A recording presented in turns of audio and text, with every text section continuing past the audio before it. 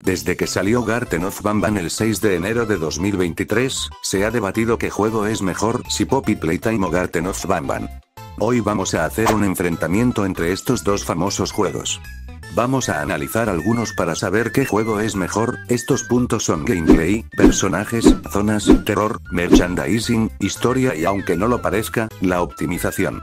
El juego es así, si Garten of Banban gana la optimización, que lo veo complicado, se llevaría un punto. Al final, el juego con más puntos será el mejor de los dos. Antes de empezar no olvides darle like y suscribirte si no quieres perderte nada, pronto se vendrá otro enfrentamiento. Vamos con el primer punto, el gameplay. Poppy Playtime tiene una mecánica innovadora y divertida, una mochila con manos llamada Pack, que en cada capítulo se actualiza para traer nuevas mecánicas.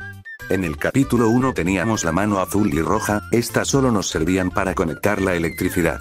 En el capítulo 2 se incorporó la mano verde y el balanceo, la mano verde nos servía para pasar electricidad de un sitio a otro, para poder abrir puertas mientras que el balanceo nos servía para llegar a zonas lejanas.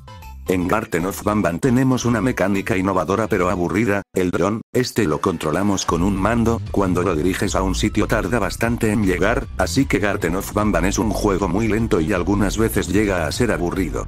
Además, Garten of Banban no ha metido ninguna nueva mecánica esencial en cuatro capítulos. Así que un punto para Poppy Playtime y cero para Banban. Siguiente punto, los personajes.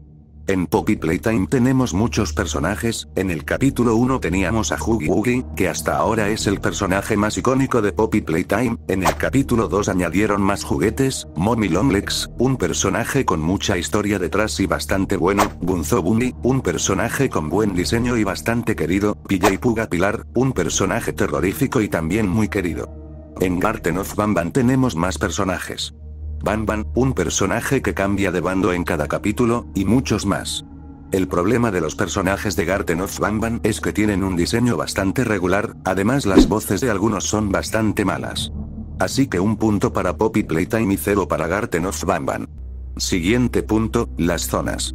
Poppy Playtime tiene zonas bastante bonitas, no se sienten vacías. En el capítulo 1 ya teníamos zonas bastante bien decoradas, en el capítulo 2 mejoraron pero ya en el capítulo 3 las zonas son mejores todavía, ya que el juego mejorará gráficamente pasando de un Real Engine 4 a un Real Engine 5. Cada zona tiene un ambiente diferente, desde zonas oscuras hasta zonas iluminadas.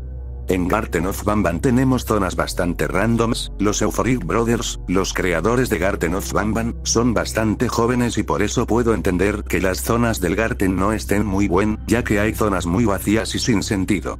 Además en todos los capítulos reutilizan los mismos objetos varias veces. El suelo y la pared con rayas de colores, los asientos y las mesas y muchos más. Y ya no hablemos de estos arbustos que aparecen en el tráiler de Garten of Banban 6 en más de dos zonas. Esto hace que el juego en cada capítulo se sienta repetitivo, ya que siempre vemos los mismos elementos en el mapa. Así que un punto para Poppy Playtime y cero para Banban, ahora mismo el resultado sería, Poppy Playtime 3 Garten of Banban. Siguiente punto, el terror. El capítulo 1 fue bastante innovador y por eso han salido cientos y miles de copias, y por eso todos los últimos juegos de terror indie han decaído tanto en el factor terror, ya que el capítulo 1 no fue popular por el terror sino por Huggy Wuggy. El capítulo 2 bajó aún más el terror, aparte de la enemiga principal, Mommy Longlegs que no daba miedo, habían partes en el juego bastante tranquilas, en las que no te sentías amenazado por nada ni por nadie, al menos en el capítulo 3 tendremos mucho más terror. En Garten of Banban el terror es peor, ya que es inexistente, pueden haber partes en las que te asustes, pero es muy difícil que pase eso. Las zonas, la iluminación y sobre todo los personajes hacen que el juego no tenga absolutamente nada de terror. Realmente no sé quién se lleva el punto en esta ronda. Yo se lo voy a dar a Poppy Playtime porque se nota que se centran más en darle un toque de terror al juego. Siguiente punto, el merchandising.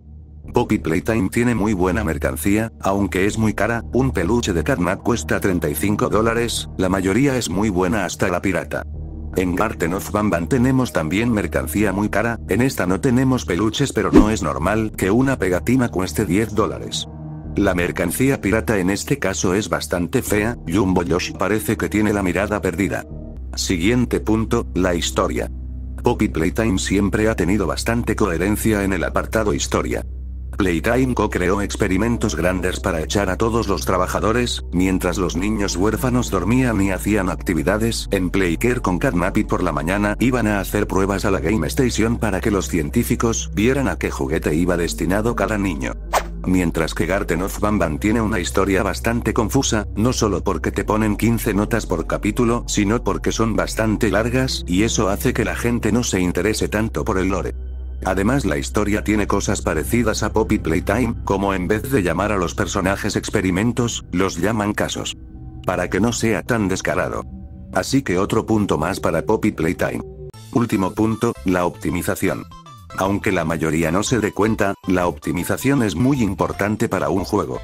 Poppy Playtime nunca han sacado un juego bien optimizado y por eso siempre sacan actualizaciones después que acaban solucionando eso. Garten of Banban nunca ha solucionado la optimización, y la mayoría de fans del juego no aceptan que cada objeto de Garten of Banban tenga miles de vértices, cuando seguramente a ellos ni les correrá el juego. Así que un punto para Poppy Playtime y cero para Garten of Banban. Hasta aquí el enfrentamiento, el resultado ha sido de 7 a 0. Tengo que decir que los hermanos eufóricos son bastante jóvenes y tienen pocos recursos, y entiendo que por eso hagan los juegos de Banban tan simples. En este vídeo no me he metido con ningún fan de Garten of Banban, si a ti te gusta Garten of Banban juégalo y si te gusta Poppy Playtime también. Este vídeo es solo mi opinión y me gustaría leer la tuya en los comentarios. Si te ha gustado el vídeo no olvides darle like y suscribirte con la campanita. Nos vemos en el próximo vídeo, hasta la próxima.